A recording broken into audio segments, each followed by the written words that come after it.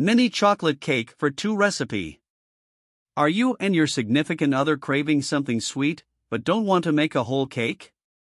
Or maybe you're just looking for a special dessert to share with a friend or family member? Look no further than this mini chocolate cake for two recipe. This recipe is easy to make and will satisfy your sweet tooth without leaving you with a ton of leftovers.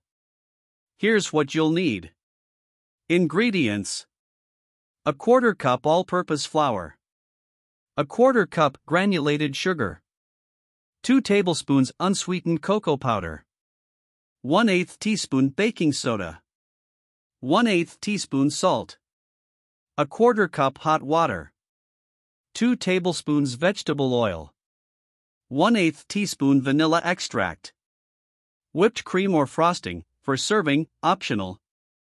Directions Preheat your oven to 350 degrees Fahrenheit 175 degrees Celsius. In a small bowl, whisk together the flour, sugar, cocoa powder, baking soda, and salt. In a separate small bowl, whisk together the hot water, vegetable oil, and vanilla extract. Add the wet ingredients to the dry ingredients and stir until well combined and smooth. Pour the batter into a greased 4 inch cake pan, or two 4 inch ramekins, and smooth the top.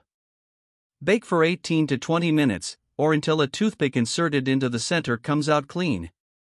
Let the cake cool for a few minutes before serving with whipped cream or frosting, if desired.